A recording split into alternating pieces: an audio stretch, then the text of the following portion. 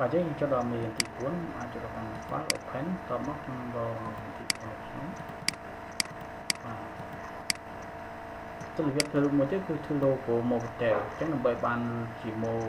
ជា logo Motel មួយយើងចុចដល់កាន់ file ហើយយើងណាបាទតមកខ្ញុំពោលវាតាមនោះណាបាទអញ្ចឹងនេះគឺងាយស្រួលជាង logo នេះគឺអត់សាំញ៉ាំច្រើនតែគ្រាន់តែប្រើ create tool បីគូសវាហើយខ្ញុំអាចយកឧបករណ៍នេះមកដាក់វាមកបាទមកច្រឡងវាតែមកខ្ញុំយក default នៃ create នេះមកគូសគូសរបស់គេយើងយើងអាចគូសតាមយើងចង់បានណាបាទតំទៀតខ្ញុំអាចយក Digital Marquee Tool មកគូសរៀងដូចវាអញ្ចឹងរៀងលក្ខណៈពងពើអញ្ចឹងមកបាទតោះខ្ញុំអាចចូលទៅកាន់ layer បាទខ្ញុំចាក់ពណ៌សទៅវាអញ្ចឹងបាទពេលបាន layer អញ្ចឹងហើយ អាចគិត control អក្សរ D ខ្ញុំដោះលេខ select ចេញតោះមកចូលទៅកាន់ layer style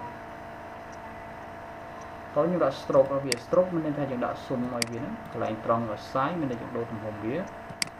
បាទកន្លែង position យើងចង់ឲ្យស៊ុំវាចូលក្នុងជាងក្រៅបាទ blend mode មានន័យថាកំណត់ step សិនរបស់វា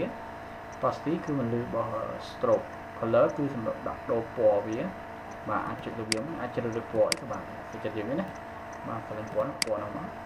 ហើយចុចអូខេបាទពេលបានអញ្ចឹងហើយខ្ញុំអាចចូលទៅកាន់ឧបករណ៍ text tool ម្ដងទៀតដើម្បីខ្ញុំបីអក្សរវាទៅថា mo បាទ mo detail ណាបាទ mo detail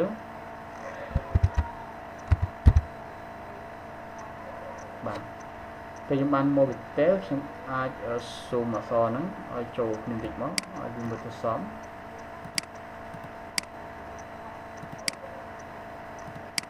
បាទពេលខ្ញុំបានអញ្ចឹងហើយខ្ញុំអាចចូលទៅកាន់អឺ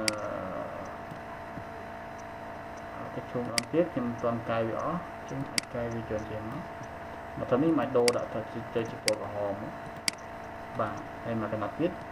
មកដូរវាទៅជាពណ៌ខៀវរបស់គេអញ្ចឹង បាទបាទអញ្ចឹងអឺកន្លែងនេះមានប៉ុណ្ណឹងទេហើយយើងចូលត្រកត្រសតទីអាច zoom វាចូលក្នុងបន្តិចដើម្បីវាសប៉ែតិចមកបាទស្ប៉ែតិចមកចូលនេះណាបាទ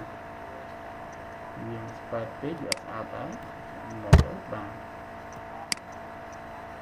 បាទពេលយើងបានចឹងហើយខ្ញុំអាចអឺ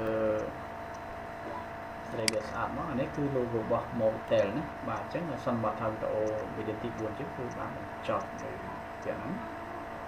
តែបញ្ចប់សូមយើងមើលពីផងអាចចម្លងយើងមើលពីចូលគ្នា